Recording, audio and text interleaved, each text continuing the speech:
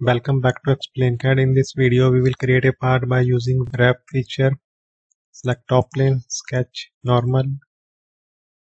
Select circle command, smart dimension, 100 mm.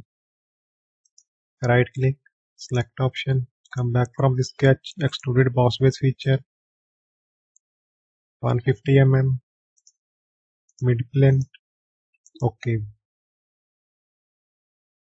Now select reference geometry, plane, front plane, 50 mm, OK. Select this plane, sketch, normal, select corner rectangle, right click, select option, 314 mm,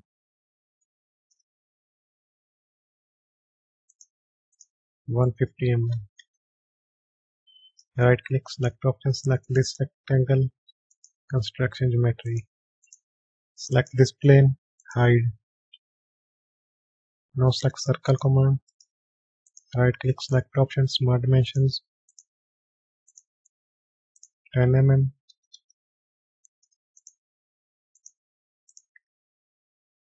Ten mm, fifteen mm. Right click, select option, eighteen mm. OK. Select linear sketch pattern. Select this circle, fifteen mm.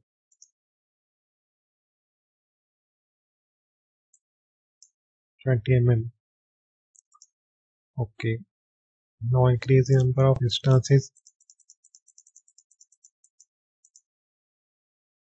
Select this in y direction also. Reverse direction. 20 mm.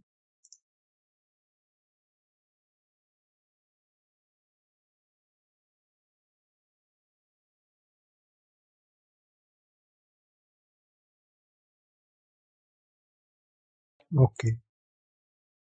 Come back from the sketch. Select wrap feature. Select this sketch. Select this surface. Deboss. OK. Now select this top face. Sketch normal. Circle. 96 mm come back from the sketch extrude cut through all okay isometric view give it some color.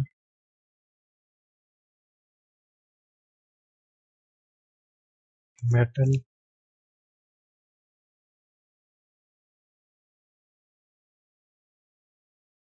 Steel.